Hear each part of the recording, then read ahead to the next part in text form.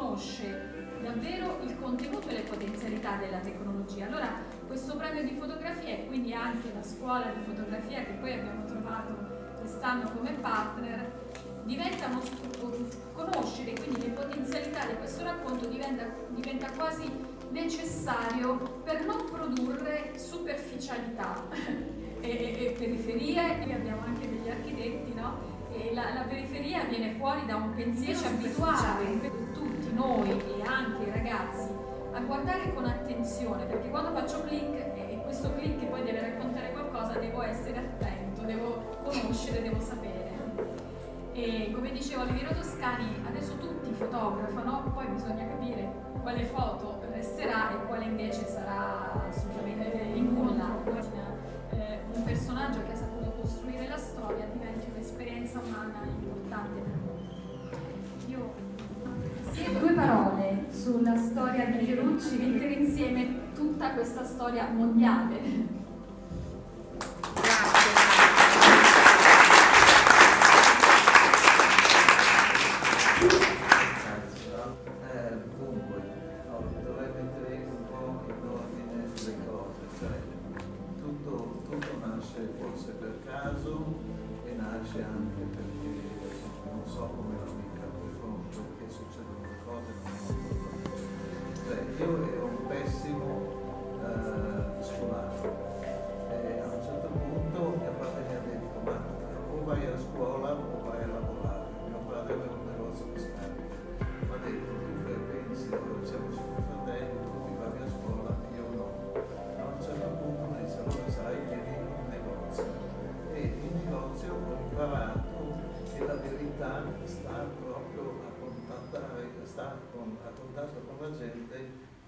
essere impedibile il contatto col commercio, è la più antica cosa tra gli uomini, ci scambiamo le cose e lì si stabilisce il rapporto umano, si stabilisce un rapporto di amicizia, si stabilisce un rapporto di...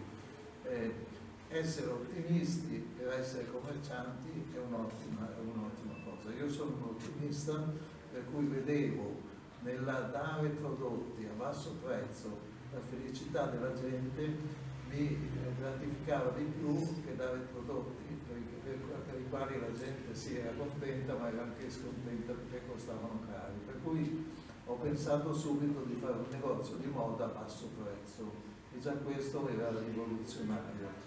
Adesso il mondo è governato da queste grandi multinazionali, Zara, H&M, che vendono la moda bellissima, quella moda che facevo io allora, che per tutte le ragazze e tutti i ragazzi ha dei prezzi incredibili.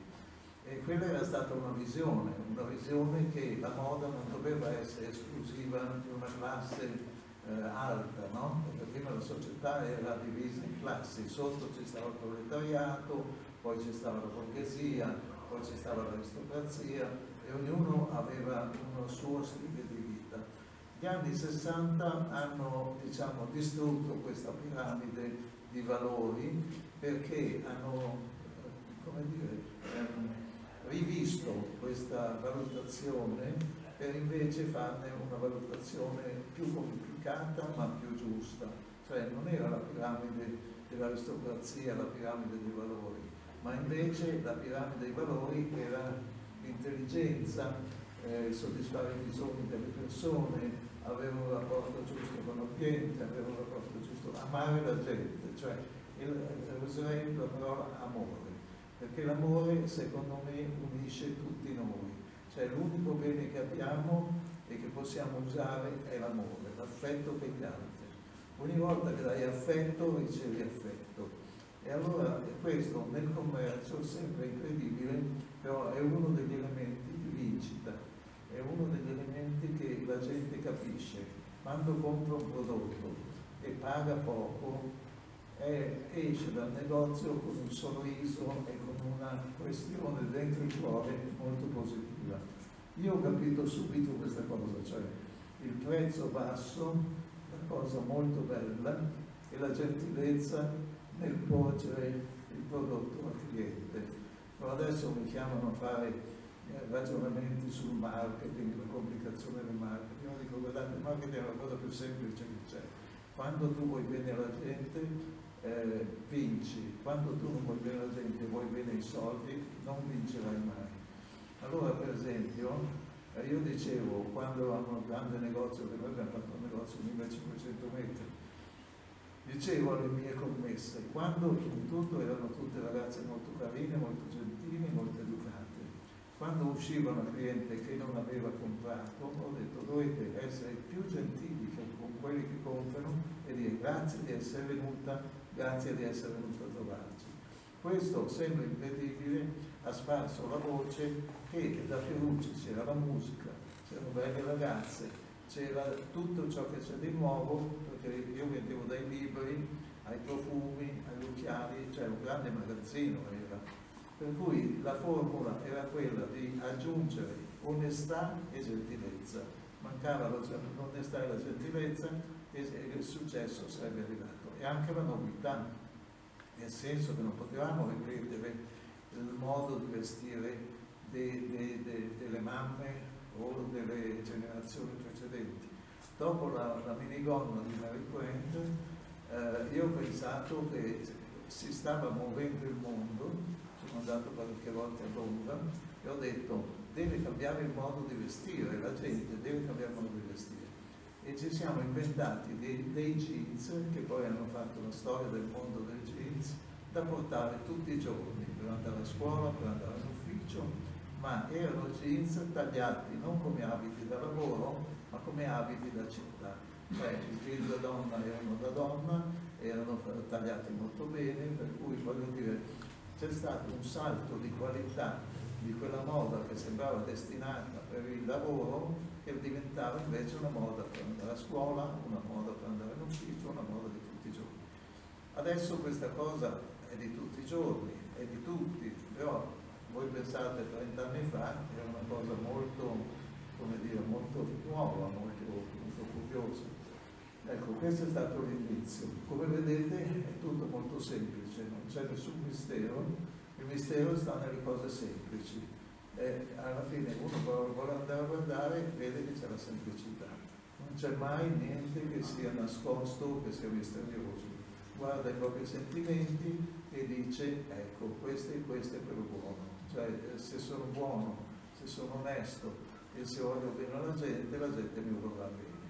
Siccome essere voluti bene, dico io, è un bisogno di tutti, specialmente io ho sempre voluto essere voluto bene, cioè non so perché avevo bisogno di essere amato, allora volevo amare la gente. Poi ho pensato un'altra cosa, fine della paura, inizio della vita allora incominciare a pensare, forse sono accettato, perché deve essere non accettato? È vero, non sono bellino, però alla fine sono buono. Mi sono fatto dei complimenti da solo per tirarmi su e ho detto ma no, alla fine. E ho scoperto che poi la gente mi voleva bene, ho preso coraggio, sono andato avanti e mi volevano bene tutti, cioè mi volevano bene i giornalisti, mi volevano bene i fotografi, perché non mi davo mai importanza, ho sempre pensato, io sono concreto, io vengo dalla campagna e devo dire che ho usato con tutti lo stesso linguaggio. Io racconto una cosa che è storica ed è straordinaria, quando sono andato a New York ho conosciuto, eh, anzi Andy Warhol è venuto a trovare Fiorucci che aveva aperto questo negozio era disegnato da Ettore Sozza e Andrea Branzi e ad un certo punto eh, scrive nel suo diario, questo l'ho scoperto dopo, sono stato da Fiorucci, c'è tutto quello che mi piace, ci sono anche dei bei ragazzi, ci tornerò. Questo, eh, non passano che pochi mesi che lui lancia la sua rivista interview. Eh, la sua rivista interview era anche quella un'innovazione, non era un'intervista, un'intervista scritta dal giornalista, ma era un microfono che veniva messo davanti, come, come è successo adesso, a una persona e gli diceva raccontati. Allora raccontati, ognuno, ognuno di noi doveva raccontarsi, no? Ognuno raccontava la propria storia. E ha fatto un giornale che si chiama Interview, che era questo dei racconti delle persone che ha avuto un successo enorme perché non c'era giornalista che miliava e c'era invece la verità di quello che uno pensava e diceva con spontaneità.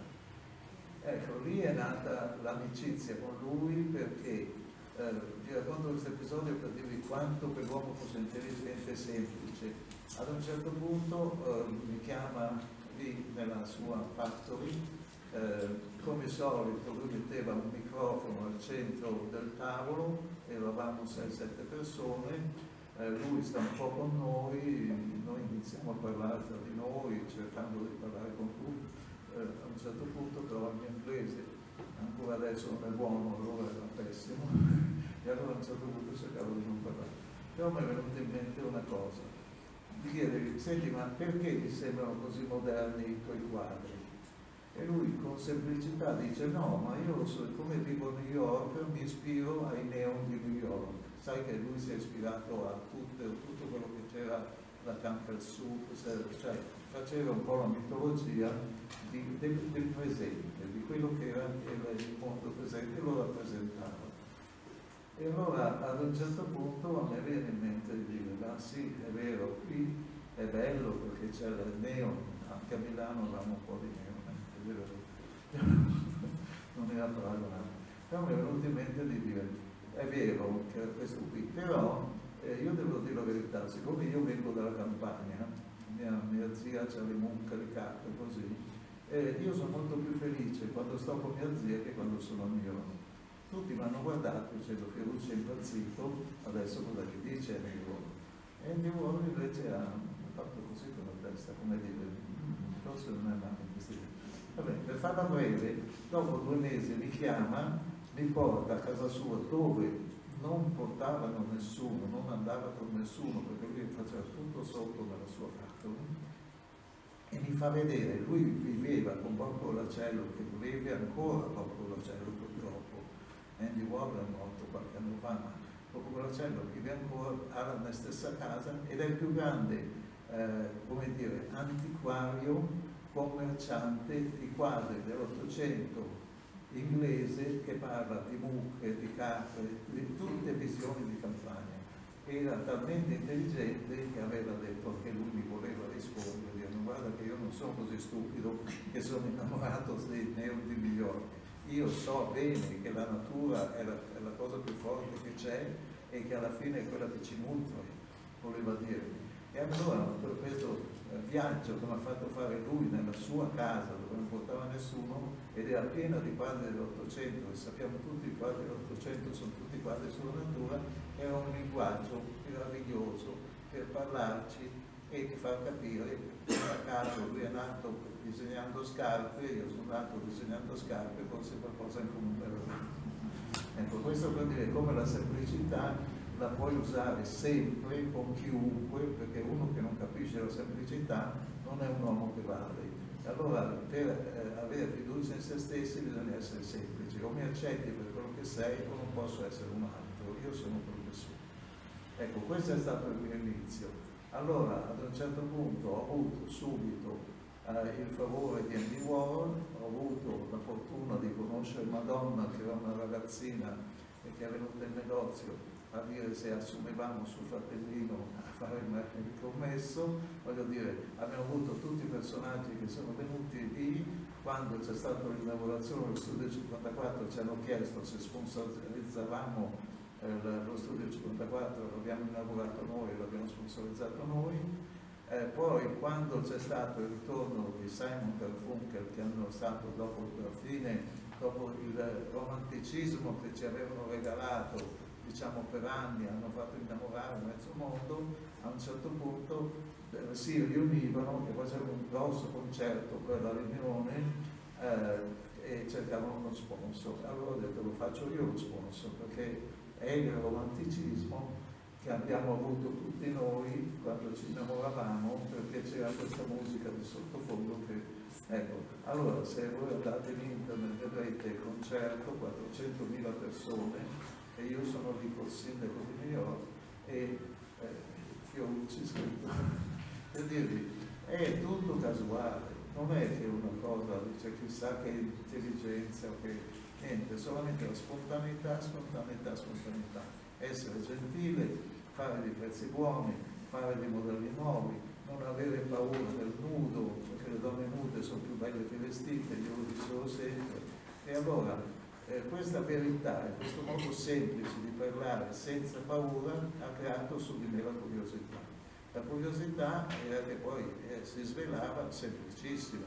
Io sul, sul mio ufficio ho un quadro di Maria Teresa di Calcutta, perché la vera santa è lei che è andata a lavorare con i poveri più poveri, cioè i poveri dei poveri, banati, e ha dato tutta la sua vita a questi disgraziati, senza pensare ad altro, pensando che era felice salvando gli altri. Un'altra fotografia che c'è sulla mia scrivania è questa scrivania di questa ragazza a vicino, e non è blasfemo, ma dopo vi spiego perché non è blasfemo, che è una ragazza nuda. Allora uno dice, diamo significato alle immagini. Eh, Maria Teresa di Calcutta la dobbiamo adorare per quello che fa. La ragazza do, uh, afghana la dobbiamo adorare per, per, il male che gli abbiamo fatto. E la ragazza alla fine l'erotismo se il buon Dio ce l'ha dato e noi siamo consapevoli è una cosa sacra. Se lo sappiamo fare bene se questo serve a unire due individui che si amano che si vogliono bene per cui non bisogna vergognarsi del nudo io infatti ho cominciato a fare i topless perché alla una ragazza che ha un bellissimo seno non capisco più deve nasconderlo. E ho ragionato in termini direi un po' coraggiosi rispetto alla mentalità ma anche pieno di convincimento di quello che facevo io. Dico non ci può essere volgarità nel corpo di una donna se il corpo della donna l'ha fatto il buon Dio così. Perché deve essere, deve essere vergognoso e perché, perché l'uomo è cattivo e guarda con cattiveria non guarda con affetto allora, questi sono ragionamenti da bambino, se tu ci pensi, è un bambino che parla. E io sono un bambino, sono rimasto bambino, sono contento di essere bambino e mi sembra che mi abbia dato dei buoni risultati. Forse mi sono distratto dagli affetti familiari, non posso dire di essere stato un esempio di affetti familiari perché ero troppo distratto dal successo, però mi sembra ho cercato di fare delle cose semplici. Queste cose semplici oggi vengono considerate opere d'arte.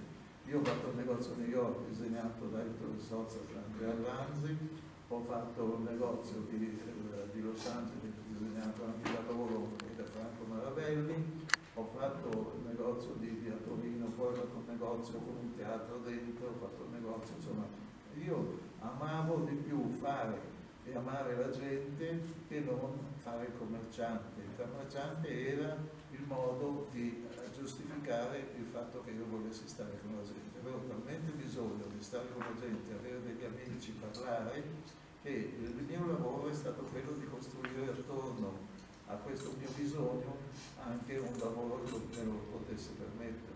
E questo qui è quanto di più semplice si possa immaginare. Ma guardate che i successi se voi li analizzate, conoscete da dove vengono, vengono sempre da un gesto di bisogno, di affetto, la scuola o qualunque attività ha sempre dietro un progetto d'amore, un atto di amore verso gli altri e un atto d'amore, cioè questo ci unisce. Per cui vedete che il mio discorso è molto semplice, non, non, non, non è fatto di grandi segreti, cioè proprio semplice, più semplice Dopodiché, voglio dire, vedi che tutto funziona in quel sistema. I supermercati che guadagnano di più, che vendono di più, sono quelli che hanno un prezzo più bello e un prezzo più basso, giusto? E dove ti trattano meglio e dove sei più fiduciosa che la merce sia più... Ecco. Invece adesso vi voglio parlare di un altro tema che mi sta a cuore. Assieme a molte altre persone io sono stato nominato ambassadore alle scuole. Perché?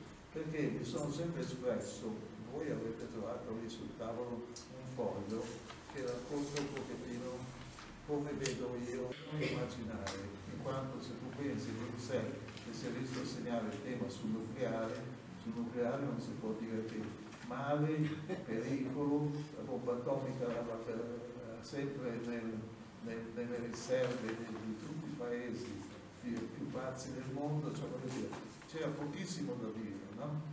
Invece nella, nella nostra mission che è quella di parlare della salute del pianeta, perché avvenga la salute dell'uomo, eh, ci siamo scatenati. Abbiamo detto qui è veramente il momento di fare risaltare l'Italia. Cos'è che fa risaltare l'Italia? Secondo me il cantico, il cantico delle creature. San Francesco, che è stato diciamo, il santo più intelligente, più bravo, che cosa ha detto? Ha detto fratello sole, sorella luna, sorella luna, cioè aveva già capito che tutto era collegato e che una cosa faceva vivere l'altra. Aveva capito che bisognava rispettare gli animali eh, perché gli animali non si rispettano tra di loro. Ci sono dei disegni di San Francesco che parla e c'è il lupo che lo ascolta così vicino alla gallina, vicino a cosa. Il sentimento che dobbiamo avere noi per il futuro è esattamente il cantico delle creature, perché alla fine dentro il cantico delle creature di San Francesco c'è tutto quello di cui noi abbiamo bisogno. Abbiamo bisogno di vivere in pace e in amore sul, sul pianeta. Poi se si legge la storia di San Francesco, addirittura San Francesco voleva andare, è andato a parlare con, con i musulmani perché diceva che non c'era ragione di essere contro, gli uni contro gli altri, per cui abbiamo già visto la pace come uno dei primi importanti. Ecco. Io trovo che il nostro Papa, chiamandosi Francesco, abbia fatto una scelta straordinaria lui è un uomo straordinario che si sta preoccupando delle cose in modo serio, per cui voglio dire, senza saperlo eh, ci si trova a ragionare forse in modo molto semplice e a trovare soluzioni che poi invece sono soluzioni importanti. Ecco, io volevo dire solo questo. Se qualcuno vuole farmi qualche domanda, mi aiuta, perché...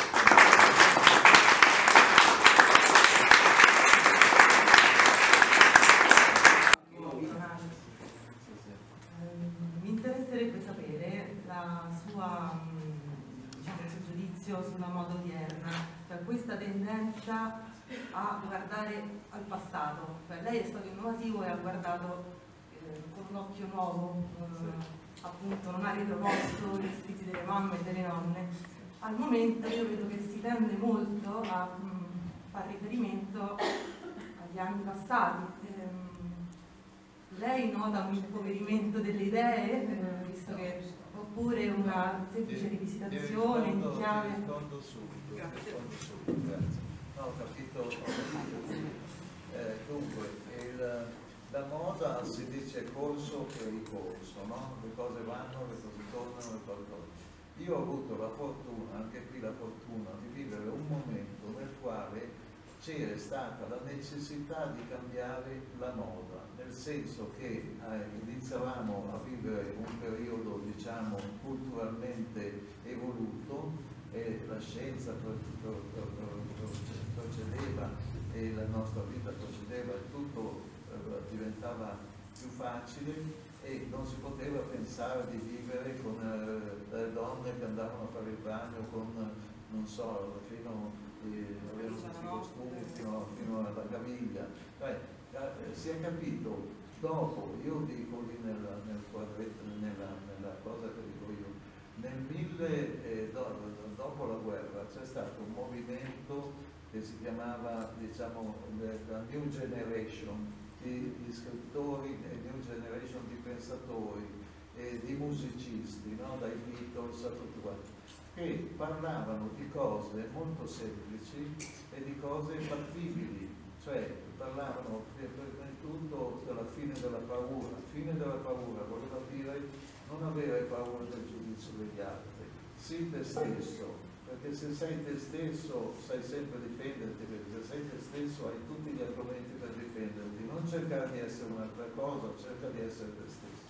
E questo è un grande l'insegnamento che io ho avuto e ho sempre cercato di essere me stesso, non voglio essere diverso da quello che sono, perché quando io sono, sono, quando voglio essere un'altra cosa non so più chi sono.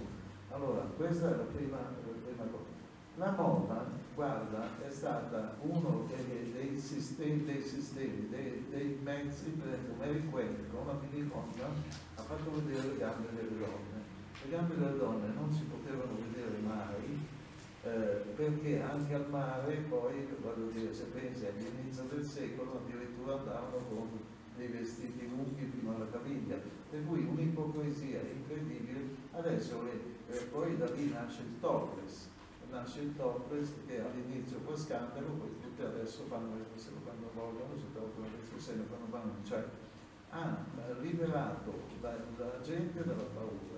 Adesso la gente è se stessa ed è più felice tutte le donne oggi portano il jeans, io sono stato felice di fare i jeans, se vi racconto come ho fatto a fare i jeans, vi viene da ridere ed è molto semplice. Un giorno vado a Ibiza e c'erano gli hippie, e gli hippie venivano, erano questi ragazzi australiani o americani che venivano, avevano i jeans della Ladies e a un certo punto io vado lì, li incontro, una sera eravamo seduti lì con loro sulla, sulla spiaggia, c'erano queste ragazze e vedo che entrano nell'acqua con i jeans. Escono dall'acqua si vedeva la meraviglia di questi sederi, di queste ragazze. Ho detto, ma come mai da lei? Non ho mai pensato di fare i jeans da donna. Perché i jeans da donna sono quelli che sono disegnati sulla... che la donna ha una configurazione completamente diversa da quella dell'uomo per cui sono tornato a casa, ho fatto il senza donna, è stato il successo, vedevamo milioni di paia di jeans da donna, perché la donna oggi o porta il fuso, e anche quello l'abbiamo fatto noi, perché abbiamo fatto, avevo visto Flash Dance e ho detto, ecco, lo dice anche tu, perché alla fine le donne stanno bene, vedo che ci sono anche delle ragazze carine qui che hanno fatto il fuso, perché è comodo perché alla fine gli permette i movimenti, la gente è più naturale, più spontanea, no? e poi vedi, sono tutte risposte alla semplicità e alla non paura. Invece, se hai paura, allora ti porti la donna fino alla caviglia, come se le donne fino alla caviglia fossero più serie di quelle che invece la portano sullo ginocchio. Non è così, la testa è nostra, non è la lunghezza della donna che fa la serietà della donna la serietà della donna o non serietà se la vuoi chiamare, perché io non chiamo neanche non serietà quella di fare sesso, perché il sesso è una... per cui se l'erotismo c'è e se lo facciamo con una persona giusta, lo facciamo per procreare o anche per dimostrare all'altro che gli vogliamo bene è una cosa sacrosanta. Allora, qualunque cosa, io la semplifico perché dico, se c'è la natura che ha fatto queste cose e c'è qualcuno che crede a Dio, eh, Dio è la natura, perché la natura l'ha fatta lui, perché eh, appunto quando San Francesco parla, parla delle creature, parla a tutte le creature come fossero figlie di Dio, perché dice addirittura fratello sole, sorella luna, cioè vuol dire che immagina questo Dio consapevolissimo di tutto quello che stava facendo con, un, con una idea precisa di fare la gente felice e di farla andare d'accordo. Se tu vedi i disegni fatti nel cantico delle creature, tutti gli uccellini, tutti gli animali sono lì anche il lupo che ascolta Francesco a bocca aperta e ascolta le parole gentili che San Francesco dice al lupo. Allora dico, c'è un insegnamento della religione, un, segna, un insegnamento della nostra coscienza e c'è il popolo che è fondamentale, che capisce questi messaggi e li vuole seguire. Poi ci sono quelli che interpretano male la Chiesa, interpretano male la malizia e poi magari sono invidiosi e poi sono paurosi e poi sono superstiziosi e poi la cosa allora si complica la vita, allora dico niente superstizione. Io una volta ero superstizioso e pensavo che il 6 portasse male, pensa che scemo. A un certo punto andavo in macchina e arrivo ai caselli, e mi accorgo che stavo uscendo al 6 faccio così per, per, per portarvi fortuna, andare al supermercato, fratello, mentre ammazzo una persona. Lì ho detto, sono così cretino, è così cretino che non mi permetterò mai più di pensare che un numero pensa male, perché pensa male è da, pensare male è da idioti. E allora, siccome io non voglio essere idiota, piuttosto ammazzare un poverino per in macchina per lo dice, perché se ne frega se tu c'hai il 6 che non ti va bene 6 su 6 esce dalla 6. Ecco, allora dire questo. Gli superstiziosi fanno tante di quelle cazzate, poverini, che perdono tanto di quel tempo che potrebbero impiegare benissimo per far metterlo dalla loro vita. Invece perdono tempo a fare cazzate, dietro una cazzata, non passo di là, non passo di qui, non vedo quello vedo quello là, si, si, si rovinano la vita. Essere superstiziosi è una fregatura. Eh. Sì, eh, stiamo parlando di moda, ma in realtà dei contenuti profondi. E, e Ferrucci ha innovato praticamente tutto, ha anticipato di 30 anni tutta la vita, no? E, cominciato con questo viaggio a Londra, adesso eh, si dice che in Italia se vuoi vivere devi esportare no? il mondo della globalizzazione, in realtà però tu già eh, 40 anni fa hai cominciato con questa azienda che vendeva in America Latina, in tutta Europa e in Giappone e, fino a che il Giappone ha comprato proprio il marchio che produce. Ecco, tutta questa...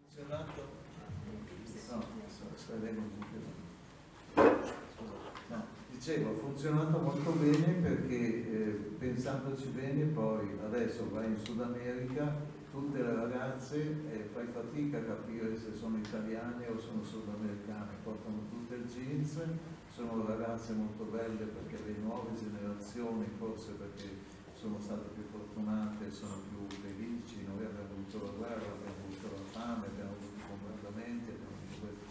Que queste ragazze nuove, diciamo, vanno a scuola, fanno la scuola di fotografia, fanno tutto quello che gli piace fare, possono arricchirsi, viaggiano e poi non dimentichiamo che in questi ultimi anni abbiamo avuto l'ultima benedizione meravigliosa che è la comunicazione tra gli uomini. Io certe volte penso, una volta per andare in America ci volevano tre mesi di nave, eh? Allora, a questo punto dici, dovevo avere una visita da un medico, dovevo mettere, fare la radiografia, mettermi sulla nave, andare là, insomma, adesso si fa l'appuntamento con il grande scienziato americano, si fanno le lastre, con una comunicazione via internet lui guarda la lastra e ti dice nel giro di 10 minuti no guarda secondo me questa qui è una cosa così così così così e tu parli, c'è il tuo medico presente sei in contatto, non ci rendiamo conto, noi abbiamo dei regali per ogni giorno, dovremmo festeggiare un regalo che sia stato fatto, il telefono è un regalo, la radio è un regalo, la televisione è un regalo, cioè tutto ci è regalato e tutto ci sembra dovuto. Ma vi rendete conto che cento anni fa non c'era niente di tutto questo e la gente per parlarsi doveva prendere un cavallo e andare io mi ricordo cosa mi diceva mio padre, sono contento dell'invenzione dei motori perché non vedono più bastonate dei cavalli perché devono tirare dei carretti con sopra dei tronchi di legno. Adesso tagliano gli alberi, li prende una gru, li, li abbraccia, c'è la sega automatica che li sega, li piega, li mette sul camera, cioè ci viviamo in un mondo di sogno, dovremmo svegliarci tutte le mattine e dire ma come mai ci hanno regalato tutto questo e le generazioni prime poverine non hanno avuto? Io tutti i giorni lo faccio cosa, perché le, le nostre generazioni, i nostri padri, i nostri nonni non hanno avuto tutto quello che abbiamo noi? Perché non ci alziamo tutti i giorni e diciamo grazie, grazie, grazie agli scienziati, grazie.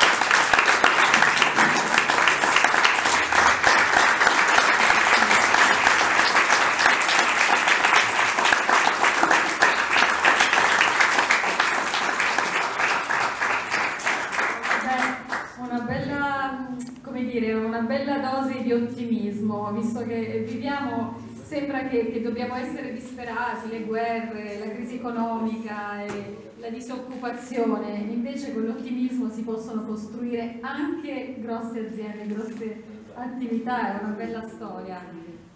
Io volevo fare una domanda ovviamente, visto che siamo qui, siamo qui in una scuola di fotografia, noi abbiamo anche un dipartimento che si occupa della fotografia di fashion e quindi direttamente correlato a quella che è stata la sua storia imprenditoriale. E vedendo scorrere le immagini, noto che la fotografia ha assunto un ruolo nella sua storia, no? ovviamente, ma di cronaca, di quello che è mostrato. Mentre invece utilizzando per la comunicazione ha utilizzato spesso il rapporto con l'arte. Mm? Quindi chiaramente un periodo storico di grande innovazione sulla comunicazione allora vorrei che mh, gli chiedo il rapporto della fotografia mh, di moda per la moda, per lo sviluppo no, della sua impresa. Che tipo di ruolo ha avuto? Essendo questo appunto ci sono i ragazzi che frequentano, purtroppo non tantissimi oggi, ma comunque loro frequentano il corso di moda. e hanno eh, diciamo, una prospettiva no, professionale. E quindi vorrei che un consiglio, allora, come si rappresenta meglio la Devo, devo, fare una premessa che può spiegare molte, molte cose ai ragazzi giovani. Io quando ero socio di Luciano Benetton, che sono stato socio della Benetton all'inizio, ho, ho, detto a Luciano non puoi continuare a fare le foto essendo tu un industriale bravo, intelligente, che hai fatto negozi specializzati con le mani colorate, con i prezzi, erano i primi negozi specializzati solo in maglieria, per cui era un servizio per chi voleva scegliere che aveva un'opportunità. Le sue maglie erano colorate, i suoi prezzi erano bassi, i negozi erano migliaia. Ad un certo punto io gli ho detto guarda, la comunicazione che tu fai non è giusta perché fai vedere un ragazzo su una spiaggia che ha sul braccio un maglione e c'è scritto sotto Benetton, ma cosa c'è di diverso tra quel ragazzo col maglione e, e, tutti i ragazzi che hanno un maglione ma, ma non sono più Benetton? Allora dico, guarda, devi parlare con Oliviero Toscano. Allora, lui va a parlare con Luciano, mi ricordo che abbiamo parlato una sera che eravamo tutti e tre al ristorante, poi eh, Oliviero passò a parlare con Luciano e decide di fare la prima foto. La prima foto che lui fa è prende 10-15 ragazzi di razze diverse, il cinesino, il vero, eh, il russo, tutto quanto, ti mette un, ognuno un, un, un maglione di colore diverso e a un certo punto li fa saltare e sottoscrive United Color of Benetton. Ci credi che la, la Benetton ha dovuto cambiare nome, non si è più chiamata Benetton, ma si chiama United Color of Benetton. Questa è comunicazione, ma questa è ultra comunicazione. Poi vi potrei eh, segnalare tante altre foto per dirvi come la comunicazione può prendere delle strade straordinarie se sei intelligente. Allora a un certo punto Oliviero una volta mi fa vedere una foto eh, che aveva fatto di, uno, di, una famiglia con un ragazzo che sta morendo di AIDS e una lettera che gli scrive uno e gli dice caro Oliviero eh, io non credo che facendo vedere un povero ragazzo che muore di AIDS con i genitori disperati al fianco tu farai vendere qualche maglione in più a Benetton e lui gli dice, hai ragione, forse ti farà prendere qualche maglione in meno, però quello che io e il signor Luciano Benetton ci teniamo è che si stia più attenti a non morire di AIDS, essere prudenti, l'AIDS è un pericolo quotidiano che hanno tutti i ragazzi giovani, piuttosto che vendere un maglione in più. Questa è un'altra lezione che dà Luciano Benetton all'egoismo della gente che vede sempre che si deve guadagnare qualcosa e lui dice io posso anche permettermi di investire per parlare non di quanto sono buoni i medaglioni ma anche quanto è pericoloso allora poi ha parlato della pena di morte poi ha parlato dell'AIDS ancora come ricordo che addirittura aveva costruito un profilattico di cui la tela di paracadute ed è andato con una gru a metterlo su come si chiama? Pardon, no? Quella che c'è più grande e l'ha infilato sopra con tutte le televisioni francesi.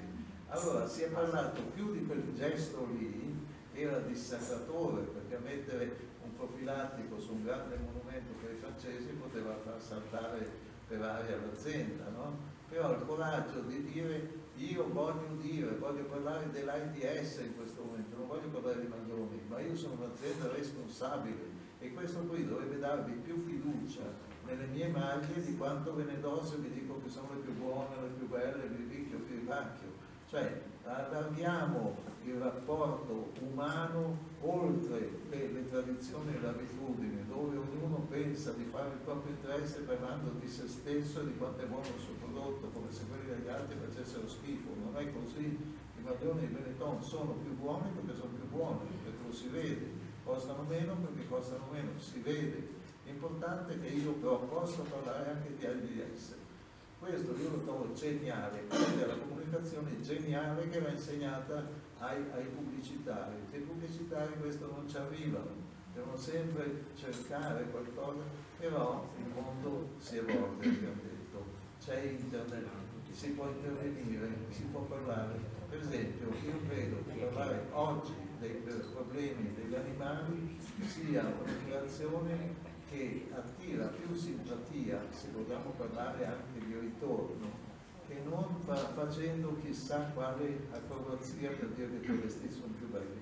Io ho fatto, una, fatto, fatto, fatto un'associazione che si chiama Animal Amnesty, io sono contro le pellicce, io credo che mettere la pelliccia per scoiare una povera volpe, c'è un, una, un video in internet, se andate a vedere, fatto da Animal Amnesty, che è commovente perché c'è l'Ave Maria di Sciure e ci sono queste povere volpi che vengono prese alla tagliola con una zampa e si lamentano, preferiscono tagliarsi la zampa e fuggire con una zampa in meno piuttosto che essere prese e scuoiate per far diventare la pelliccia di una donna.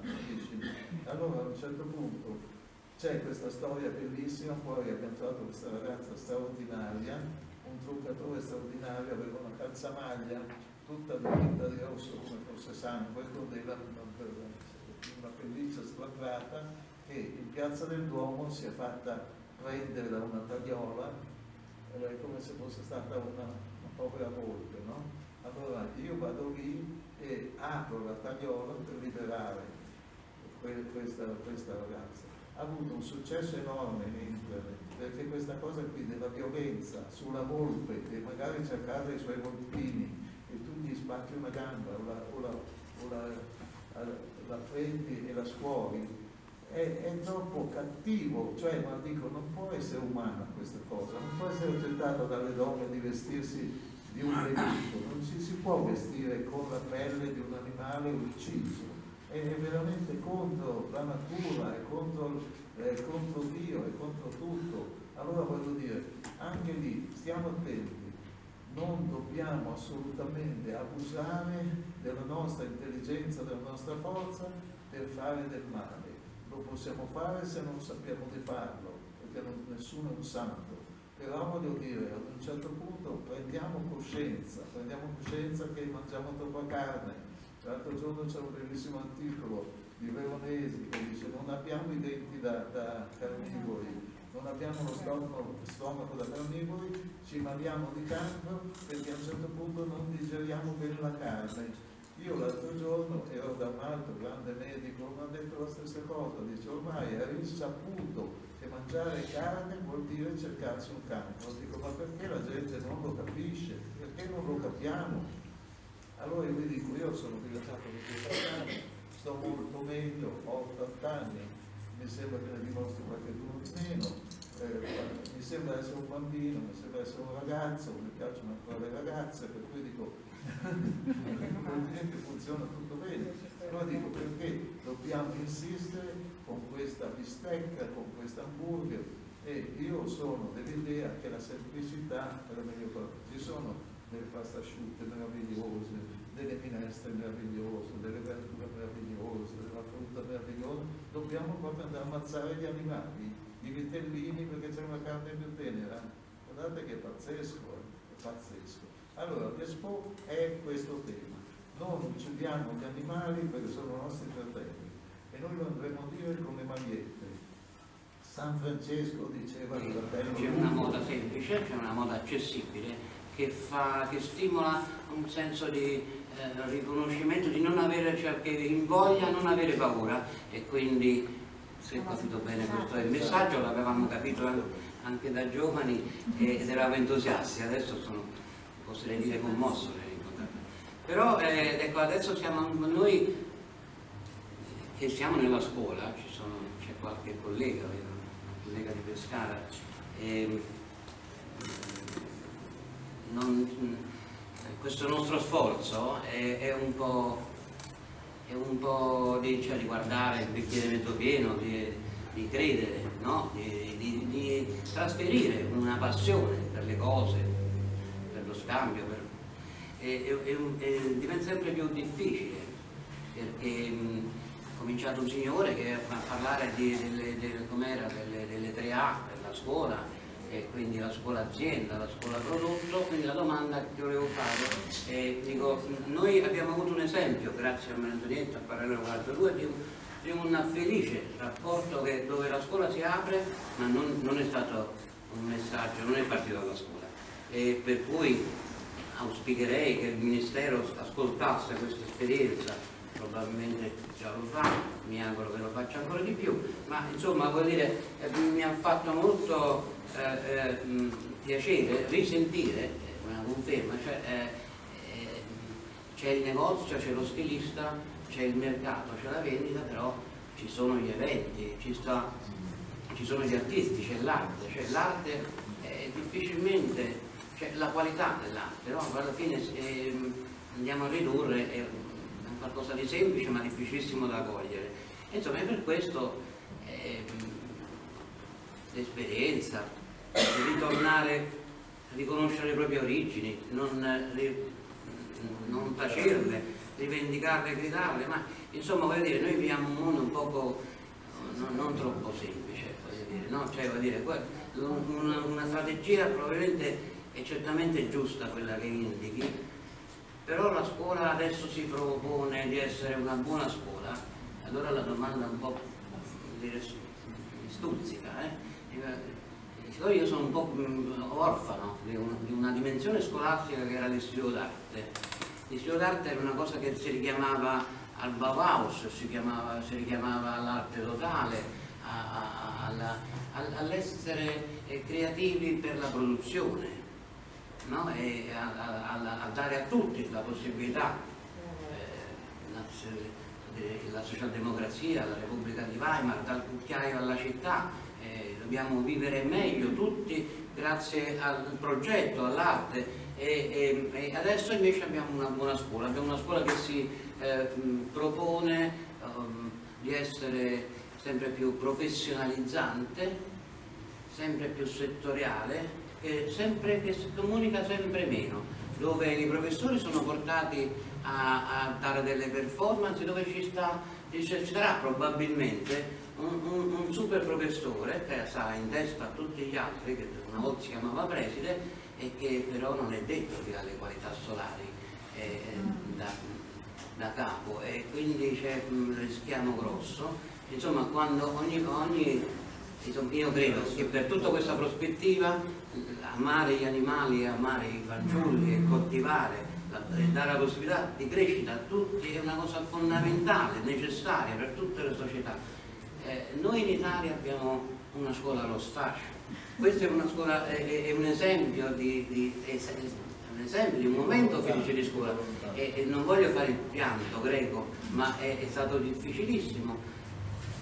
Qual è il consiglio che daresti al nostro giovane Renzi per una buona scuola che funzioni, che, che trasferisca l'amore, che dia qualità, che dia rispetto al passato, al presente infinito, eh, che coglie la fotografia e, e, e, poi ci permette di capire, indossare, vivere senza avere paura. Eh, eh, eh, la domanda è interessante, cioè dire, come tradurre tutto questo in qualcosa che sia un insegnamento, quali sono i capisaldi di questo ragionamento che faccio io? Ah, certo ci vuole la passione, qualunque lavoro deve nascere dalla passione, perché la passione è quella cosa che ti fa lavorare la mente anche al di fuori di quello che tu vuoi fare. Quando hai una passione la mente fugge e va verso la, la tua passione.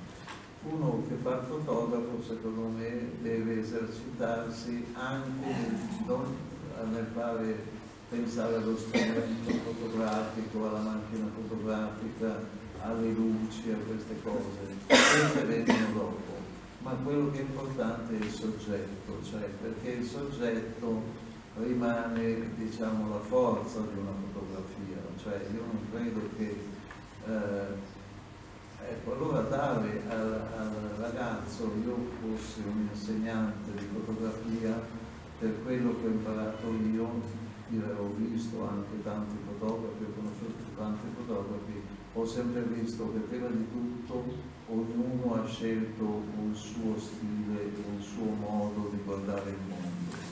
Oliviero è come dire, inconfondibile con gli altri, ma anche tanti altri sono inconfondibili perché hanno scelto di perfezionare qualche cosa che loro amavano, che fosse poi un fiore, che fosse una ragazza, che fosse un vestito, che fosse un monumento, è qualcosa che tu guardi con uno sguardo, guarda, ecco, il fotografo secondo me dovrebbe essere prima di tutto una persona che ama guardare le cose e vederle nella, nella loro semplicità e nella loro bellezza che molte volte è trascurata. La bellezza di molte cose è trascurata dal fatto che siamo abituati a vederla, però non è, non è detto che perché siamo abituati a vederla non va fotografata, no? Come se fotografi quella cosa che è su tutti gli angoli.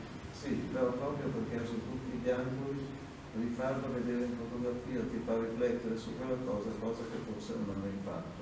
Per cui io penso che tutto parta da un ragionamento che sta nel cuore, cioè quando tu eh, guardi, facciamo un esempio di Oliviero Toscani, tutte le sue foto, se pensi, le riconosci.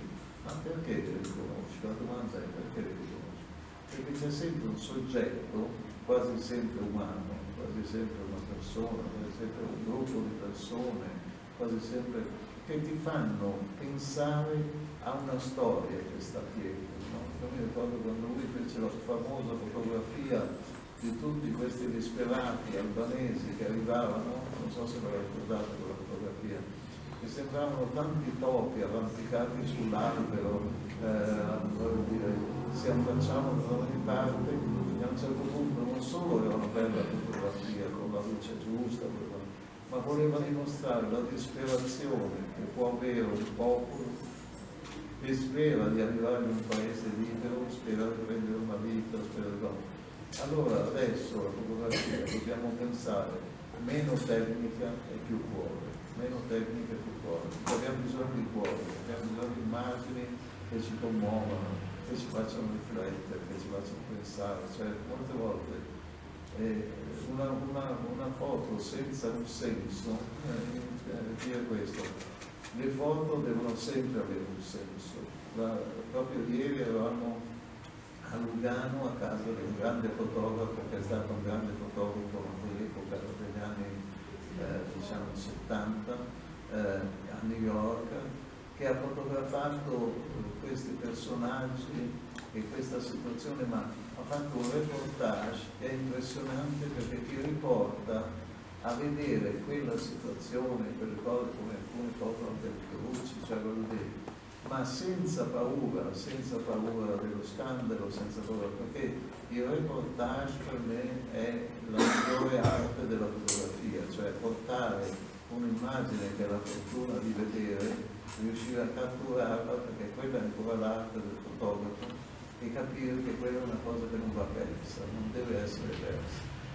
Ecco, poi sulla tecnica, sulla tecnica si possono fare tante discussioni, però voglio dire, poi ognuno lì ha il suo senso estetico, per cui è, eh, diciamo, è un fatto eh, soggettivo, cioè voglio dire, io vedo un'estetica di questo tipo, quell'altro eh, vede un'estetica eh, a un certo punto l'obiettività che possa soddisfare tutti forse non esiste, no? nel senso sì, c'è qualche cosa, però le, le, poi le foto non devono mai dar fastidio, cioè anche se hanno lo scopo di suscitare scandalo, eh, come dicevo il ragazzo che eh, muore di AIDS, eh, non deve, deve essere una bella foto, non so come difficile spiegarlo, però è dentro di noi questo, no? questo a sapere che quella foto mi dà un'emozione, mi suggerisce una, uno stato d'animo, la luce, eh, il viso delle persone, insomma, l'arte della fotografia, attenzione, è una delle più belle e delle più complicate, è un po' come forse l'arte una volta della pittura, cioè saper rappresentare quella situazione è una storia la cultura proprio per questa sua capacità, lo sguardo di una persona colta in un momento, capisci? E allora io dico, eh, non è una delle cose più facili, però è una cosa di cui ci si può innamorare, si può innamorare perché rappresenta quello che tu vedi, no? Quello che tu vedi lo vuoi fermare, lo vuoi fermare perché ha suscitato un sentimento. E se tu riesci a mettere nella foto il sentimento che hai avuto tu, sei un bravo artista, perché vuol dire che lo puoi ripetere, lo puoi rimandare, lo puoi far funzionare anche agli altri. Insomma, parlare di fotografia non è facile, parlare di, di tecnica di fotografia forse è più facile, eh, però eh, da lì lascerei fare ai fotografi professionisti perché io ho sempre scelto le fotografie sull'emozione. L'altro giorno ha fatto un regalo tutti i suoi amici e gli ha voluto fare una foto, no? io tra, tra, tra, tra i suoi amici e mi ha insegnato una cosa, mi ha fatto, ha detto, guarda, eh, quando sono le foto, te, ognuno cerca di prendere un atteggiamento così, dice, ma tu ferma della cosa, guarda dentro la macchina, guarda dentro la, la macchina che ti sta fotografando, e lì assumerai senza volerlo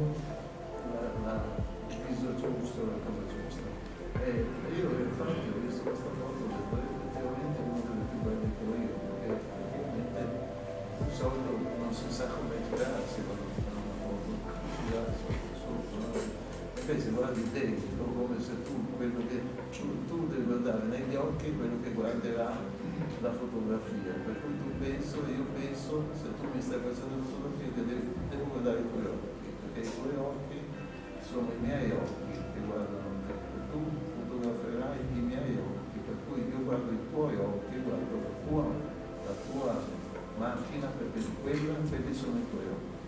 Allora, questa è già una tecnica, cioè pensare sempre che chi ti guarderà, ti guarderà attraverso quella, quella macchina che è, è, quella che stai guardando,